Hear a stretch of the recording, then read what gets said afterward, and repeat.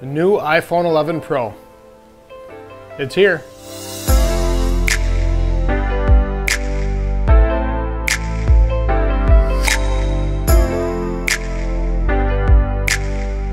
Well, today's video may not be very exciting.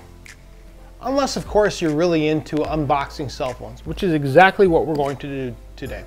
We are going to open up the new iPhone 11 Pro and just see what the contents are, and that's about it.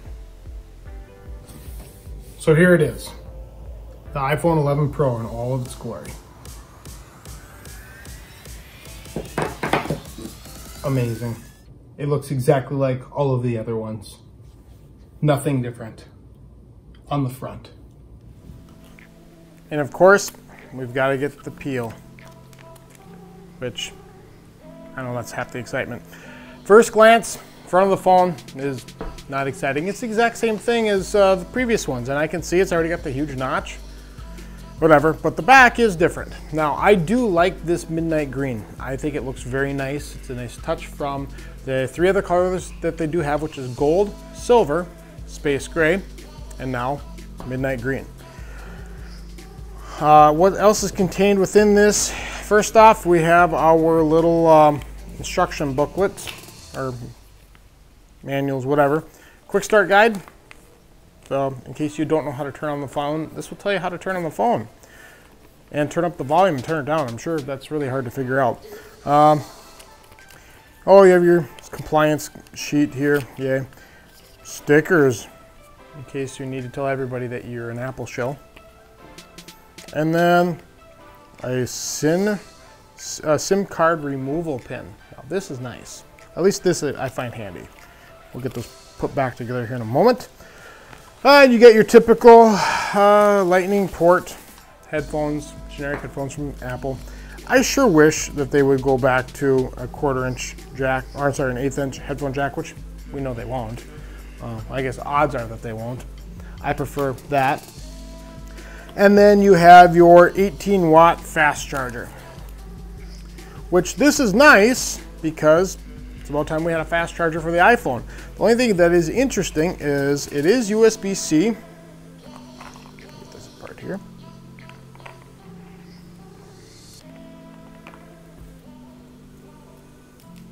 Apple in their packaging.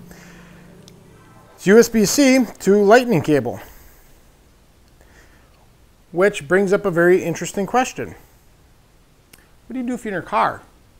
And let's say you want to hook it up to say like I drive a GMC pickup uh, and I want to hook it up to my Apple CarPlay which is a USB-C or I'm sorry USB type A because they don't have USB-C ports in I don't know any vehicle that I've seen personally. I'm sure there's some but I haven't seen one. I'm guessing Apple wants you to buy another adapter USB-C to USB type A because you know that's Apple. They love their adapters. Not common sense I don't understand. They should have had USB-C on the phone and not lightning port first off. And the only complaint I have along with that is since this is a lightning port, and not that lightning can't handle it, but they limit it to USB 2.0 speeds. Why? I mean, if I want to take a movie and I want to transfer that data quickly and not doing it over USB 2.0 speeds, it would sure be nice to have 3.1 Gen 2 or whatever the heck they want to call USB um, standards nowadays, but I mean that that's frustrating. Anyway, it is a good looking phone. I've noticed, first off, the weight does feel nice. I mean, it's, it's heavier than the other one, and that is supposed to be because of the battery. Now, uh, let's turn this thing on here. And it takes a second to hold it down, obviously, and you get your typical Apple boot up screen. Doesn't that look just wonderful? First glance, I don't know, I mean, it feels nice, it looks nice. And we'll come back here once it's all booted up. Okay, I will say that the transfer progress was very simple. Um, I went through and started my uh, transfer and, or I'm sorry, started my uh, phone up, did the welcome, all those fun things that they, they know that you like to do. And you have an option of restoring from backup from iCloud, which is nice, or you could directly transfer between phones. So you just literally put your iPhone, like in my situation, my iPhone 10X, 10S, next to the iPhone 11 and waited a couple hours and it transferred all of the data, settings, and everything to the phone and it was just ready to go. I did it at night, so it did it. Um, so in the morning, I was set to go as if I had the exact same phone. Fantastic. I am still waiting for my case and my uh, screen protector to show up because even though this is said to have stronger glass yet, an IP68 rated um, water resistance, which I do find very nice, um, nip brightness of uh, you know, anyway, let me get back to that. Uh, even though it's got all that nice stuff, it's still glass. Odds are I'll drop it and I'll break it. Even though they say that, you know, it's stronger than ever, I'll probably break it. So I'm going to make sure that this has the necessary protection on it for a $1,350 phone. Which is crazy. Anyway, uh, one thing I do notice right off the bat, and there was a big difference between this and the iPhone XS, is it is a brighter screen. They say peak brightness is, in normal mode is 800 nits, which I'll be honest is noticeable. And then when you're going into HDR content, like watching a movie, uh, it goes up to a peak brightness a brightness of 1200 nits. It's, I will say that when you and I'd turn on a movie right now, but I don't want to have a, some sort of a copyright issue. That it is a very bright screen. Uh, it's very clear. It's uh, sharp as can be.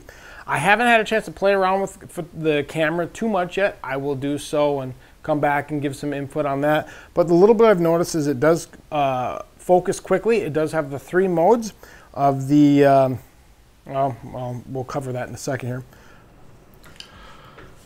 Okay, here's some photos. You can see a little bit of a difference between how the iPhone 11 captures compared to the iPhone 10s. There is definitely a difference in the HDR or the overall picture. Here's just a few different ones. Forward facing camera, selfie, video, whatever. iPhone 10s. And then the forward facing camera on the iPhone 11. Same test. I will go in here and you have couple different options to take a picture, correct? You have your, we'll just go to photo.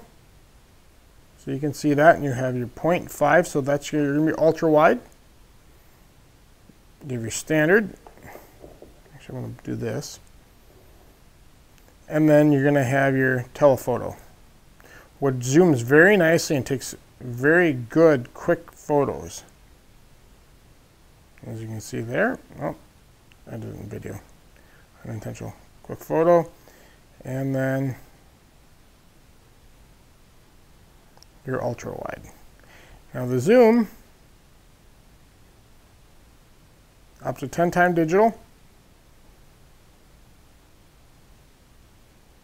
zooms very nicely and then you can get into your different telephoto modes.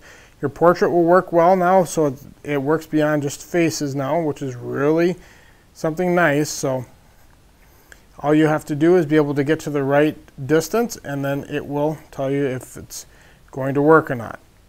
You have your full mode so that it, you can get a full body picture if you'd like. So I'll take this right here and you can go in and you can edit the different settings within the photo itself. And you can see, I'll put that photo up, but you can see how it blurs out the top portion and you can you know go in and change your intensity and the type and all that kind of stuff which is really kind of interesting. I mean they've got a lot of editing tools in this now. You change your exposure um, contrast all that fun stuff. Uh, I am very curious to be able to have a chance to play around with this to see what the photos and videos are like on this as a whole the other thing I really do notice about this phone that's nice is the face, uh, facial recognition or the Face ID to open the phone is really quick. I mean, literally, I'm in the phone now. I mean, I'll close it. I'm in it. It, it is a, it's way faster than the 10s. And when I say way faster, it's noticeably faster. I mean, I haven't timed it. Uh, the 10s did work well. this is faster. I've noticed it in going into Apple Pay. Uh, if I take photos of, you know, I'm already into it. So I can hold this to my reader. It does seem to sense it further away from me than it used to. Now, before you used to have to kind of look at it awkwardly and sit here and wait to do an Apple Pay. But with this, it's just like you kind of glass down and it's already read it. And I'm ready to actually do the uh, card reader, which is, it is nice. It is a faster phone. It's taking advantage of this new A13 Bionic chip that is supposed to be a certain percentage faster than what the A12 Bionic was, which was great. I'll tell you that in between apps, switching, launching apps, I don't really notice much of a difference, if any at all. I think at this point, we're at a point in the iPhone where it's fast.